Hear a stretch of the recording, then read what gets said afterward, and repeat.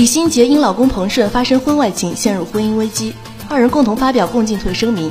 近日有报道指，彭顺夫唱夫随，李心洁过去七天闭关期间，每天都有一群在岩洞打禅七日，足不出户。同时间，彭顺每天在距离岩洞约十公里、靠近静大河畔的一间佛堂诵读地藏经。曾与彭顺在佛堂一同诵经的同修透露，彭顺过去都按时到佛堂诵经。刚开始，他们觉得这位男子有点面熟，后来才想起他就是李心洁的丈夫彭顺。如此耐心的陪伴着妻子，似在期盼着宗教力量弥补感情裂痕，并洗涤心灵。但之前有报道指，李心洁虽原谅彭顺，不过二人目前仍处于冷淡期。如今看到彭顺决心改过，不少网友纷纷表示原谅，并关心李心洁送上鼓励：“过去的就过去吧，女神加油往前看。”